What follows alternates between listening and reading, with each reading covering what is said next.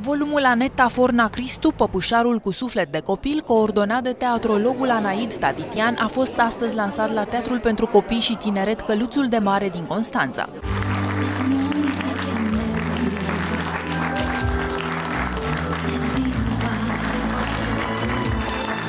Întotdeauna când, când scrii o carte, pornești cu, pornești cu un gând. Și gândul meu a fost unul uh, de suflet. Și anume acela de a mărturisi și prin cuvânt, nu numai prin vorbe, așa cum încerc să o fac întotdeauna, este prinosul meu de admirație, este reverența mea de suflet în fața unui uh, actor care și-a ascuns și și-a ascunde și astăzi un uriaș talent, o haină de o nobilă modestie și ea este nuția mea, Aneta Forna Cristu.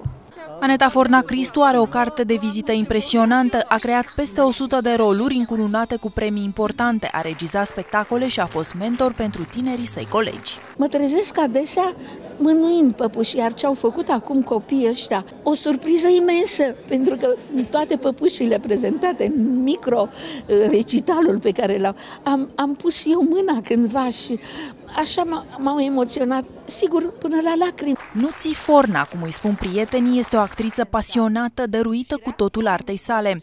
Fiecăruia dintre personajele interpretate le-a dăruit câte puțin din sufletul și personalitatea ei. Este actrița despre care mari maestri ai genului și cronicar de teatru spun că este un artist care simte sufletul păpușii într-un mod cu totul remarcabil. Să